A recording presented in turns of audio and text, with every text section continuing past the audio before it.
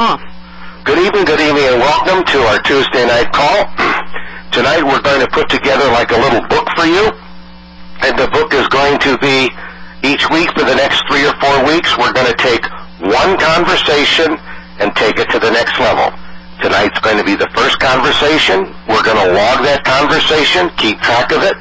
Next week we're going to do the second appointment. The week after that we're going to do the third appointment, and if it doesn't, if we're not getting the person signed up and it's going to take one more week to do it, then it's going to go to four weeks. So when you're all done in the next four weeks, you will have your own little library of one, two, three, four contacts in a row, hopefully covering every possible conceivable situation where you've got a reference to the whole process from beginning to the middle to the end. And with that thought in process, I want to thank Barbara from Canada, who has graciously volunteered, I love that word, volunteered, Barbara, uh, to, to work with us for the next few weeks. Barbara, are you there? I'm here. Wonderful. Okay, if it's okay with you, Barbara, let's get started, okay? Okay. Okay. Uh, Barbara and I are going to start, and we're going to do this on the basis of she was a um, lead that I, I received, and I'm, I'm giving her a call, and she doesn't know me, and I don't have um, anybody to use as a referral or a recommendation. I'm just calling her. It's just, that's all there is to it. So, ring ring, hello? Hello. Barbara. Yes. Barbara, this is John. This is John. And I was giving you a quick courtesy call because I noticed on the internet that you had filled out some information, that you wanted some no obligation information, you know, about working from home and making supplemental income. And to put you at ease, I'm not a salesman or telemarketer, and I'm not going to ask for any money. I'm just returning your request for a call and the information. So, with all due respect, perhaps you could let me know a little bit about what you're looking for, Barbara. How can I help you? Well, I'm not really sure what I'm looking for. I um, I was recently uh, laid off from work due to uh, downsizing, and um, I do have a, a small business. I do, but I have lots of time because I've ran that business with working full time. So I do have some time, and I just thought it would be nice to do something something else. Okay. And when when you say uh, uh, you were laid off of work, um, what what kind of uh, uh, occupation are you in, Barbara? Well, I was working in a hospital. Oh, okay, okay. Have you done that for a long period of time? Yeah, a long time. A long time. Okay. I'm curious. In working in a hospital, did you enjoy your work while you were there? I enjoyed many parts of it for many years. The last couple of years were very, very stressful because I was in management and um, it was, um, yeah, very stressful. Unions were very strong and, yeah, it was tough. Okay. Um, if you had a chance to go back, you said you're laid off. Would you go back, or would you prefer to look for something a new challenge? No, I don't want to go back. I, I, um, I couldn't go back to nursing because I have a bad back and I don't want to get back into management again. Okay. When you say a bad back, is that a job-related injury or just something that came on through the, the job-related? Oh, that's very unfortunate. Okay. When you think of all of the experience that you've had, as you said, many years in working for the hospital as a nurse, you've obviously been a people person. Is that is that true? Um, to a certain degree, yes. I mean, you have to put up with grumpy old men, don't you? grumpy old men and grumpy nurses too. Uh, yeah. Okay. So when it comes down to it, um, you've probably had more experience in working with with people and their personalities because when in a hospital they're they're, they're stressed out than probably the average person. Does that make sense? Likely, yeah. Okay. All right. So in looking for something new, because you said you didn't want to go back, with your experience of working with people already, especially people that are maybe as stressed out as you felt you were stressed out, okay? Um, what is your criteria? I mean, what, what, what, what do you want? I'm really just trying to look and see what's out there. I don't, I don't really know, but I need something. I mean, there's a lot of scams out there. There's a lot of, um, you know, too good to be true things, and um, it's got to be something that I believe in. Okay. Okay. Too good to be true. You got to believe in it. Okay. Have you had any experience in working a business from home in the past? Well, like I said, I have another business right now, but it's um it's like a accommodation. It's a small inn, Okay. so I run that. Okay. Do you like doing that job? Uh, I have liked it over the years, but I, I am ready to sell. Okay. So you have the experience and the knowledge of being and owning your own business uh, already. Yes. Okay. That's exceptional. when you see use the words it's too good to be true and you have to believe in it, it sounds like you're a risk avoider, not a risk taker. Is, is that true? Um, not not entirely, but you know, I want to investigate something. You know, I can give you an example. I had a phone call the other day. Uh, some people wanted to buy something from me and offered me this phenomenal amount of money. Well, I know darn well that it's it's a scam. Uh-huh. You know, because no, it just is. I just know it. Okay. So, you know, you don't get ninety-five thousand dollars for a timeshare that they haven't even looked into the details. Oh, goodness gracious, yes. Okay. When you said you were looking for supplemental income uh, and you're talking about being laid off and, and the other small business that you have and the stress uh, and the fact that you've done some homework already and it sounds like you're quite disappointed, um, how much has your need for supplemental income changed in the last few months? Has it gotten more significant? Uh, well, obviously, I um, sorry, my other phone's ringing. Um, obviously, the um, you know the income I was making at the hospital was very significant, and uh, you know that isn't there anymore. So.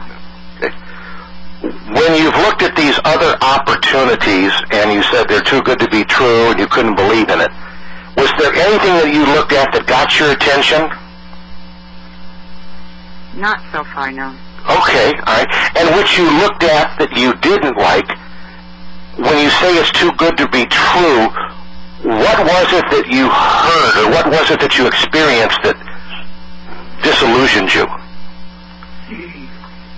Well, I was actually referring to the uh, people that were trying to buy a timeshare. Oh, okay. So not really a business. It was more of a it's just um, a sale.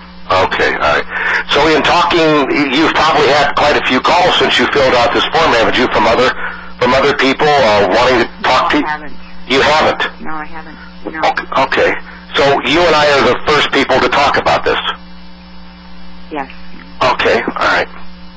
When you think about owning another business yourself and you're concerned about risk, if we could structure it in such a way as you could have a free look at the business in some manner that's acceptable to you before you made a commitment or any money was involved, anything, would that first step help you to get more comfortable with whether or not you really want to try a new challenge? Well, it would too, and also, you know, some of the other ones you're just supposed to go online and you sign up and they want your credit card right away, um, and there's no real person talking to you. Um, and you know, if you're talking to a real person and you had, you know, you could talk to a real company, that could make a difference. Okay. When you said you wanted some supplemental income, are we talking a little or are we talking a lot? Well, if I could, if I could bring in about four thousand a month, that would be really would help to replace, you know, my other income and Okay. wouldn't replace it all, but it would would help. And you know, we really like to travel and things like that, so I'd really like to be able to do that more. Okay. So when you say four thousand a month, that is a whole new career to make that kind of money. And you went to nursing school for what, two years after you went to college or something like that? That was three years. Three years, okay. So it took you a while to get up to that four thousand dollars a month, didn't it? Well, back in those, back in the early days, we didn't very, make very much, but it gradually went up and up. Yeah. Okay. I, but you know where I'm going with this, don't you, Barbara? That it took you a while to get up to that four thousand dollars, not working on the job, plus all the, the the studying and the knowledge that you had to gain. Is, is isn't that true? Yes. So, do you think it it's fair to be realistic about this and say if you want to try something new, you want a new challenge that you could make four thousand dollars a month, it would be a lot fairer if I said you may only make two hundred dollars the first month, or you might not make that at all if a, a situation comes up or a problem comes up that you don't know how to handle it. In other words, are you prepared to work your way up based upon your own skills, your own desire, your own commitment? Because if it is your own business, you can you're in total control. You know, you're the president, the secretary, the treasurer. It's all yours. But I'm trying to be real upfront with you. You're not going to make four thousand dollars the first month. Oh, I I realize that. It's Okay. you have to build up. Uh, I realize that from my other business, but um, you know that's what I'd like to make eventually. Okay, that's very possible if you put in the kind of time and the kind of work and the dedication that you did to be a nurse all those years. All right? Right. Okay, and that that is okay with you? Mhm. Wonderful. With all of your people skills in starting a new challenge, what skills do you think you could bring to the table to give yourself a head start in owning your own business, based upon your own experience and your own opinion? Well, I'm very organized. Okay. I uh, I have decent computer skills. Uh huh. I have decent phone skills. Uh huh. Um, I'm not afraid to talk to people. Okay. Um, and I'm very persistent. Okay. I don't give up easily. Okay. Do you feel about rejection, Barbara? Um, it gets me down, but I usually get back up again in a while. Okay. All right. If I could show you how you could evaluate a business up front to know what's expected of you, to be able to confirm that the business is legitimate, you're not being scammed, to show you the affordability of it, the budget, what you'd be spending for the next year to run your business, testing the business to make you sure you know what's expected of you, making sure that the support meets your needs just like the support that you had when you were in the hospital, making sure that you're not alone and that we're going slow enough that you're comfortable, along with what's expected of you. If we could cover those issues with you up front, would you look seriously at something new? I mean, are you the kind of person that would seriously take a hard look at something? I would, yes. I may not make up my mind immediately, but I'd take a good look at it, and I think the part, I mean, besides being a legitimate company and things like that, um, having um, somebody to help me would make a big difference. So you're real keen, being a professional nurse, you're real keen on support. Is that what you're saying? Yes, Okay. So in this process, you'd want to make sure that you verified and confirmed that the support met your needs. Is that correct? that's right. Okay. In any business, there's a product. If I can show you how you could test the product, look at the product, try the product with no risk, 100%, your money back for the product so you could try it. If you don't like it, send it back. Would that be another benefit to you? Well, that would be essential because uh, if I didn't believe in the product, I couldn't do the business. So does it make sense to you that when we speak next, if you do choose to speak, that I should show you how you could get your hands on the product and you could be testing it to make sure that it meets your needs while we're going through these other steps here and making you comfortable that we just discussed, where you could be doing the testing while you're trying the product. hmm Does that make sense? Any idea how much that's going to cost? Uh, the product would cost you approximately, oh, approximately about thirty-nine dollars. Okay. Okay. As I said, there's no risk. You can ask for your money back. hmm Okay? So, with your permission, my understanding is is that you've had a long career in a hospital. You're a professional person. You've also had bus- uh, extensive experience in owning and operating uh, your own small business, which you said was which is an accommodation inn. And the, the problem with your life right now is the tremendous stress that you're under and how this stress is affecting you. And I'm curious, is it affecting your family and your relationship with your family as well? Well, the stress has actually gone down a lot since I've left the hospital. Okay. All right. So then the only stress that's left is maybe his financial needs? Right. Just Okay. trying to replace a little bit of what I lost. Yeah. Okay. And your biggest concern is you want to make sure that you're making a decision that's best for you and you're not being scammed and that it's a good company and that you've got the support like you had in the hospital. Is that right? Or even maybe better support than I had at the hospital. Ah, so you weren't real happy with the support you had in the hospital. No. Okay. What was it about that support that you found disappointing? Um, the CEO would go behind my back. He would, um, somebody would come to me and ask something that I, was out of my hands, so I would go to the CEO, and um, he would say, "No, absolutely not. Can't do that." So I'd have to go back and say no. And uh, then they would go to him directly. He wouldn't call me into the meeting, and he would give them what they wanted. So you're looking for a relationship where everything's on the table and everything's up front and everybody knows where they stand. Right. Perfect. Okay. With your permission, I'd like to send you a, a, a our first email, and it's called "If You Can I Be Successful and Working from Home and Owning My Own Business." And there's lots of questions. There's about seven of them, Barbara. And Mhm. the, these seven questions are to help you to see if there's more answers that you're requiring, that maybe these are questions that you haven't thought of that would even make you more comfortable if they were answered to your satisfaction. And that's the best way I know how to make you comfortable. Because you notice, we've been talking, goodness, I don't know, maybe almost 10 minutes, and have you noticed that I haven't tried to sell you anything? That's right. And I haven't asked for any money, have I?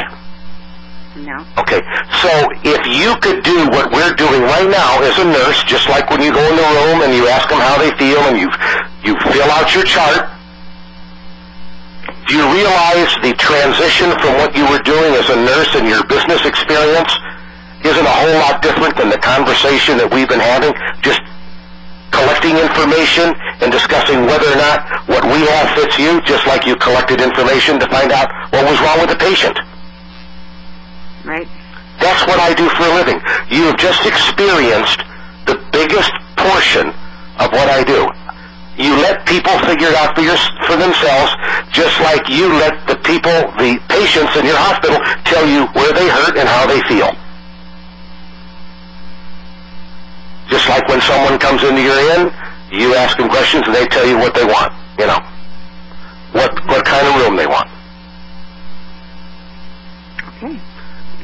When you walk into a room in the hospital and you see a patient, you don't walk up to them and say, "Oh, I know what's wrong with you." You would never do that, would you? Not likely. Not like okay, and that's why I would not try to tell you why you should join my business. It's wrong. It's wrong in a hospital, and it's wrong with you and I talking. You're going to make up your own mind based upon what fits you and what you're comfortable with, and all I'm going to do is provide you the information and let you decide what's best for you. Is that a fair bargain? Sounds good. Okay. Now, can we talk about this tomorrow? Will you have time to look at these questions if I send them to you tonight? I've got a few other things to do tonight, but I should be able to look at them in the morning. Okay. So would it be possible that we talk the same time tomorrow night as we're talking now? and we'll probably be on the phone for maybe, I don't know, 10, maybe 15 minutes at the most. Any chance you could call around 4 o'clock instead? Yes, 4 o'clock. 4 o'clock, okay. All right, all right. And our objection tomorrow night is to is to discuss and make sure you are satisfied with the answers of this Can I Be Successful because it's all designed to help you to be able to ask better questions to make sure you're comfortable. Okay? Do you want me to fill that out and send it to you? No, no ma'am. All I want you to do is answer the questions and then when we get on the phone we're going to go through it together and I'll Okay. I'll say question number one is this and I'll say how do you feel about it? And you'll tell me how you feel. And if I can't make you comfortable, if I can't lead you to the answer, if if you don't see the benefit, then shouldn't we just stop right there, Barbara? Mm-hmm. Okay. Do you see how this is all about you and not about anything else? That's right, yeah. Okay, when we get through with this process tomorrow, if you're still comfortable, then we'll go to the next step. And I'll give you a little insight as to what I do in my business to see if it is appealing to you. If you like that, then we'll start the test drive. And we'll, we'll go right down the list. Here's how you verify and confirm. And I'll show you. Probably want to look at a few things. I don't want to jump into the first thing I look at, you know.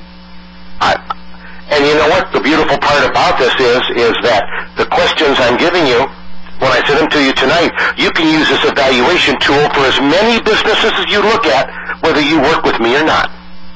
Mm-hmm. So you see the benefit in us talking tomorrow night so you learn how to use this tool?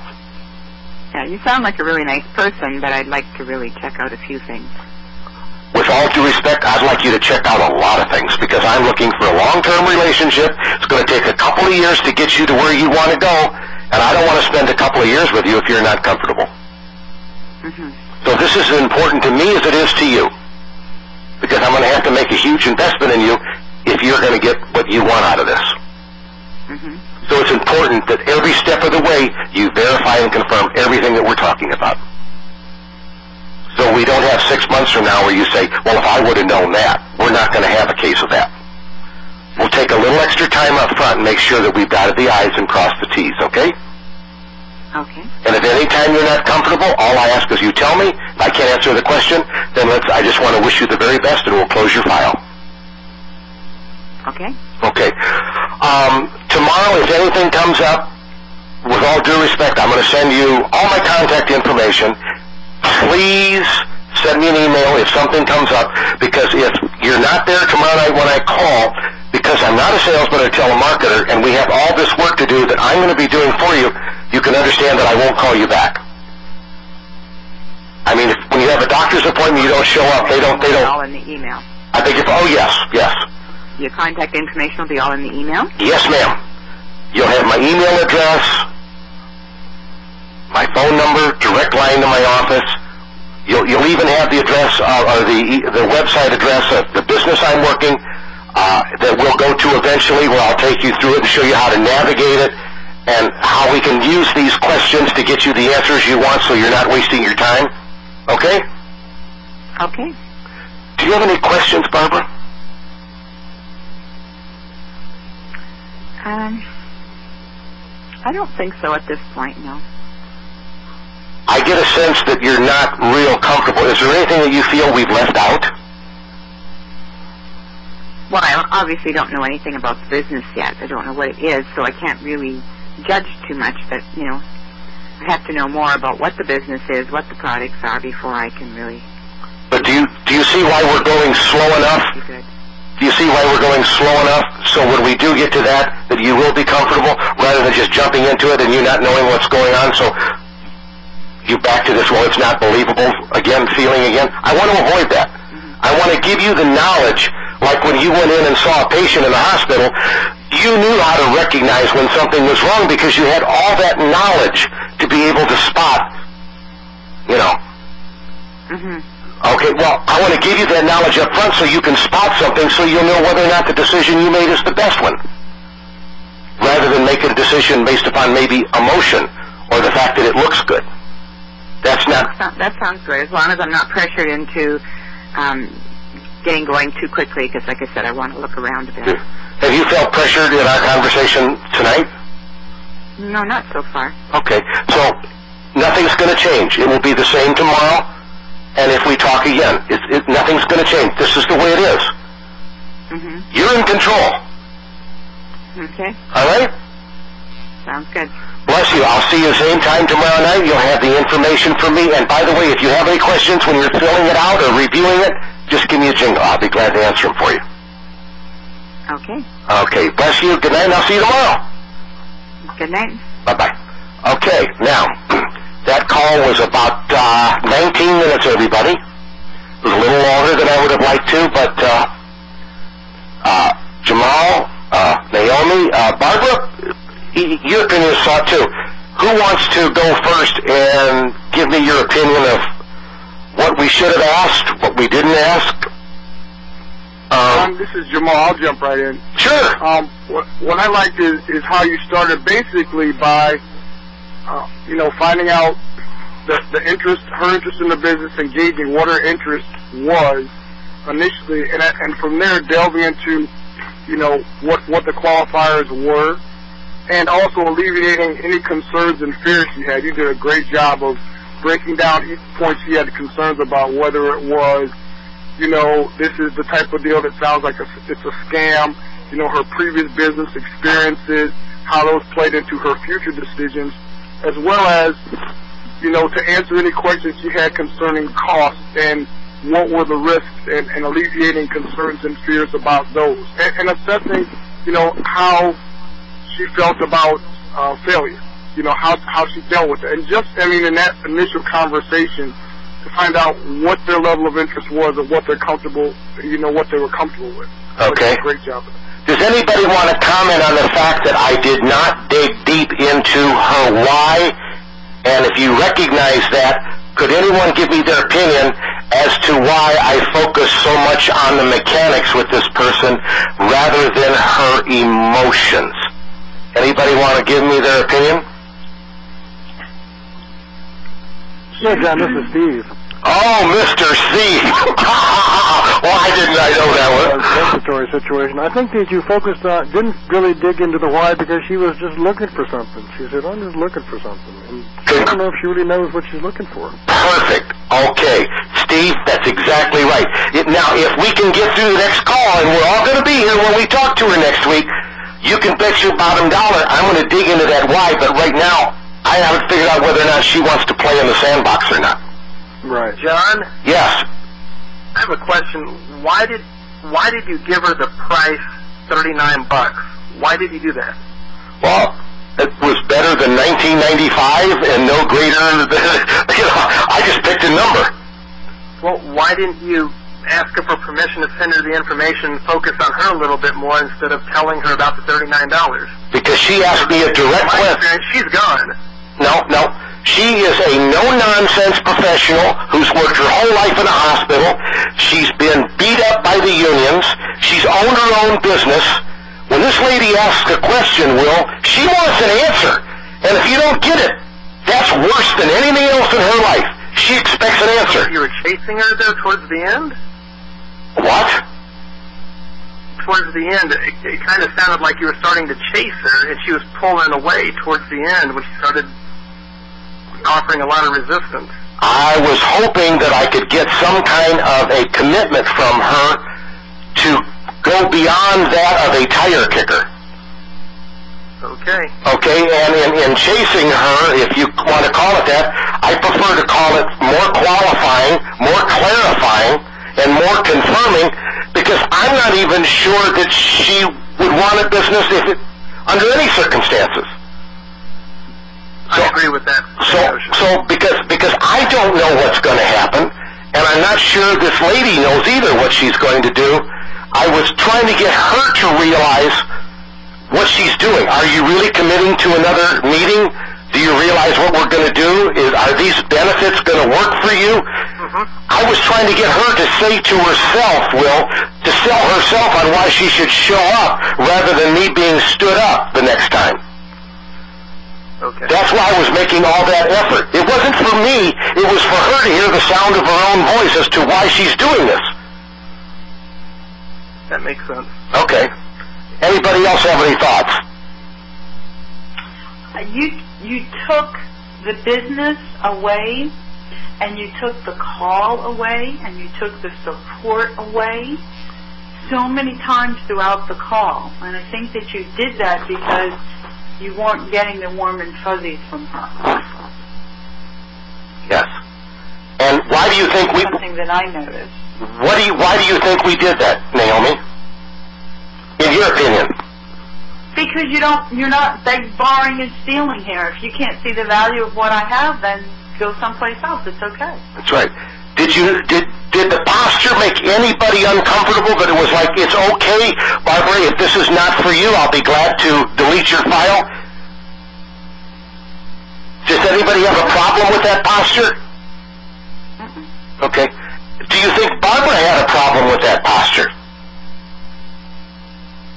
Barbara can answer. No. Okay. All right. I got the one. The only thing I really understood with this with Barbara when she spoke tonight is is that a she's a professional and b she's no nonsense and she wants it straight from the shoulder and she can handle no because it sounds like she's heard the word no a bazillion times at the hospital. Yeah, I, I thought that her profile is she wants to be in control. Oh yes. She wants things on the table. Um, and that she's not going to get pushed around. That's right. And she doesn't trust me any more than she does the carnival barker right now, and I've got to earn her trust. hmm And it's going to take a lot of work. hmm And if I think tomorrow, our call next week of just going over, uh, can you be successful is going to make her my best buddy, I got another thing coming because it isn't going to happen. It's going Is to that a new It, document or is it the same one we uh, I'm sorry, what'd you say, Naomi? Is that a new document or is that the same one renamed? Um, no, it's a new, it, it's, it's a completely reworked document. Can I be successful? It's completely reworked. I know where you're going. I'll make sure you have it tonight. So, but the point is, is does that make sense? What we're, what we're saying here is that we're going to have to work hard to earn this lady's trust because she's been through a lot. And she's not going to take the first thing that comes down the road. She's already made it real clear. Even if she likes what we're doing, she's still going to shop somebody else just to make sure. So the trust, moving her to trust, is going to take a lot of work. Now she's also the type of lady that if she makes that leap of faith that she comes on board, she'd be a barn burner. Because she doesn't scare. And she doesn't quit. You can tell that right now. You couldn't ask for a better team member. But you're going to have to earn this one, guys. She's not going to be a pushover. Anybody agree or disagree with that? No, I agree. Okay. I agree. Uh, anybody else have a question before I open it up for our guests? Okay, we're I going don't have a question. I don't have a question. This is Vanessa, but I do have a comment I wanted to make. I thought that um, the way you were tying everything into her past experience and helping her to be able to relate and make the acknowledgments about that, and just kept reiterating the benefits and how she can um, really relate to that based on her past experience, and kept how you kept doing that. I thought that was really great. It helped her to really connect to what you were saying. She could really identify with that. Thank you, Vanessa. Whatever career someone's in, that's not a hard process to do. If they're a school teacher, you know what a school teacher does. They help people, okay? She's a nurse. She helps people. If she's a beautician, you know that she helps people. It's very easy to compare what someone does to transition to use it as an analogy if you just listen to them. And that's a good observation, young lady. Thanks, Vanessa. Welcome. When you when you see Joe, tell him he's a bad boy for not being on the call. okay, There you go. I'll see you all tomorrow. Anybody else have a comment before I open up the call? Okay, here we go. All callers are unmuted. Okay, the floor is open for questions, everybody. Don't be shy. Who wants to go first? Okay. No questions? I've got a question. You go ahead, please. will the process be two, three, four interviews? You won't know that until you get further into it. Yes. Yes. On, on the next call that we do with this, we'll be able to evaluate where we stand and we'll discuss it just like we did on this call. And who knows, this person may um, choose not to proceed or we may disqualify qualify her. I have no idea. The call will have a life of its own. Okay. I have no idea what this person's going to do, and she's on this call right now, and she's going to tell you that. That I don't want to know what she's going to do. Otherwise, this wouldn't be a valuable training. Is that right, Barbara? That's right. Barbara, I want to really thank you for the wonderful contributions you made tonight. We look forward to taking this to the next level next week. And I want to thank all of you for joining us. Bless you all. Good night, and I'll see you all next week. Thank you, John. Hi, John. Good night, everybody. Thank you.